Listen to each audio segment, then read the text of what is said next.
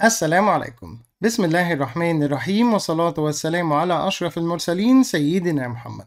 النهارده يا جماعة إن شاء الله هنبدأ من البداية خالص ونعرف يعني إيه برمجة. لو سمحت أي كلمة تظهر على الشاشة اكتبها على جنب وبعد الفيديو ما يخلص ابدأ ابحث عن كل الكلمات دي عشان تزود معلوماتك وعشان تبقى جاهز للفيديوهات اللي جاية. البرمجة هي مجموعة التعليمات الإنستراكشنز اللي بتديها للكمبيوتر عشان تنفذ تاسك معين. حضرتك عندك مهمة معينة محتاج الكمبيوتر ينفذها بتبدأ تكتب التعليمات بتاعتك وتديها للكمبيوتر وتقول له نفذ. إزاي الكلام ده؟ بعد فترة بإذن الله هتتعلم برمجة وتبدأ تنشئ أول program ليك عشان يساعدك في حياتك الطبيعية. أنت دلوقتي بتقعد على الجهاز ساعات بتسرح وتنام وبتسيب الجهاز شغال وده ممكن يعمل مشاكل في الجهاز. فأنا محتاج أعمل برنامج بسيط يعمل shut down للكمبيوتر عند وقت معين. لو أنا مثلا قعدت بعيد عن الجهاز ساعة مثلا. أول حاجة بتديله التعليمات عشان ينفذ ال task البرمجي ده بتقول له أول حاجة check على ال keyboard وال mouse هل أنا قعدت بعيد عنهم ساعة ولا لأ؟ لو ده حصل تمام.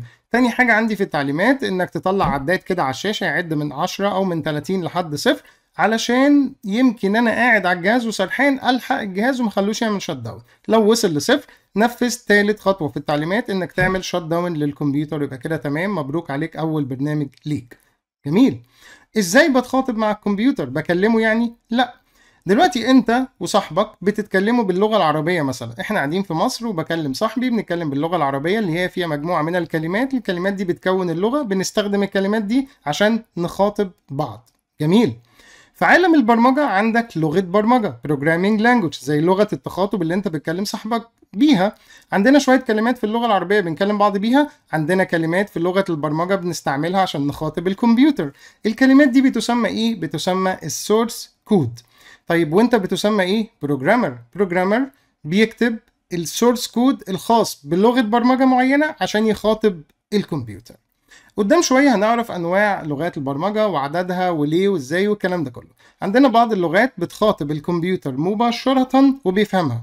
وعندنا لغات لازم يكون في وسيط بينهم عشان يترجم اللغة بتاعتك اللي انت بتكتب بيها دي للغة الكمبيوتر. الكود بتاعك اللي هو الكلمات اللي بتستخدمها عشان تدي تعليمات للكمبيوتر بيسمى source code بتحتاج الوسيط اللي هو compiler ال compiler بيحول ال source code بتاعك ده ل machine code أو machine language عشان الكمبيوتر مش بيفهم الكود بتاعك ومحتاج الوسيط ده علشان يفهم اللي انت كتبته ويبدأ ينفذ التعليمات بتاعتك. طبعا يا شباب قصة ال compiler هنتكلم عنها بالتفصيل عشان دي عايزة قاعدة كبيرة جدا وما ينفعش في بداية الفيديوهات لأنها حاجة advanced جدا. بالمناسبة هي ممتعة جدا وهندخل فيها في ال processor ونعرف لغة الكمبيوتر وبيتعامل إزاي مع الصفر والواحد والحاجات دي كلها. فحاجة من الحاجات العظيمة جدا أوعدكم لما نوصل للفيديو ده هتتبسطوا جدا بإذن الله. طيب دلوقتي بقى لسه معرفناش برضو التعليمات اللي أنا هكتب كلماتها source code بلغة برمجة معينة أوصلها إزاي للكمبيوتر عن طريق برنامج بيسمى text editor أو IDE البرنامج ده بتبدأ تكتب فيه الكلمات الخاصة بلغة برمجة معينة والكمبيوتر يبدأ ينفذ التعليمات بتاعتك دي.